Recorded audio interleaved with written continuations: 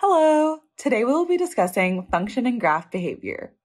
There are three different types of behaviors that we can see from a graph. Type 1 is known as increasing behavior. As we read the graph from left to right, or as the values of x increase on the intervals a through b, the values of f of x could be increasing. Type 2 is known as decreasing behavior. As the values of x increase on the intervals a through b, the values of f of x could decrease.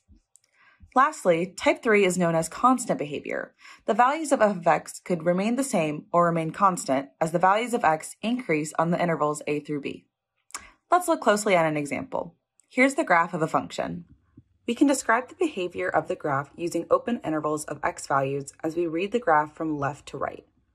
On this first interval, the values of the function remain constant as x increases. So we say the function is constant for x values that are less than zero.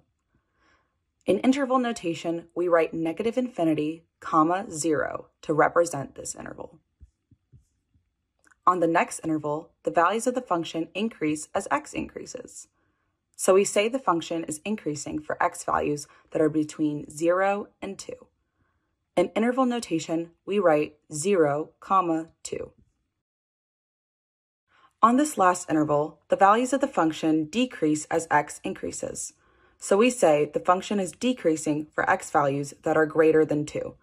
In interval notation, we write 2 comma infinity.